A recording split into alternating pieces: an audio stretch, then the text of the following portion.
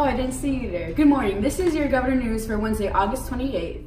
Our club will have a brief call-out meeting at 2:40 in room 304 on Thursday, August 29th. If you are interested in joining our club, please attend this meeting. DECA Club will meet on Wednesday after 7th and 8th hours in room 240. Wednesday's meeting will be for the purpose of making our schedule for this year. If student is interested in trying out for the boys tennis team, they are to meet the coach at the tennis court by 4 p.m. sharp. If you want to practice, you must have a physical. Anyone interested in Poetry Club is invited to meet in Ms. Hobson's room, 242 Thursdays from 3:15 to 4:15. Calling all color guard members, old and interested. The Governor Guard will be having a call out meeting this Thursday, August 29th at their 7 and 8 hours in room 209.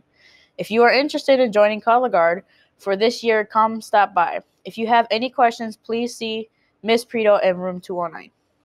There will be a call-out meeting for student government on Wednesday, August 28th in room 159. There will be a discussion about homecoming theme, Powerpuff game, apparel fundraiser for the game, spareware, the pep rally, and dress down, dress down for the homecoming week. It's open to all students, so any questions, please contact room 159. Attention all Lady Govs who are interested in playing basketball this year. Workouts will begin September 3rd at 3.45 p.m. in the gym. An updated physical is required in order to participate in any workouts. You can get a physical form from the gym, the main office, or Coach Dre during the day in room 159. Governors, are you interested in playing any types of sports this year? If you are, then you must have a physical turned in before the season starts or as soon as possible. If you don't have a physical, then you cannot play any sports.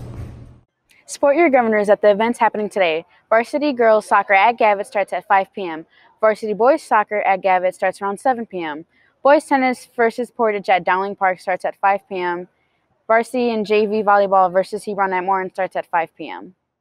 Man, that Rubik's Cube sure was a challenge. But here are your lunch options for today.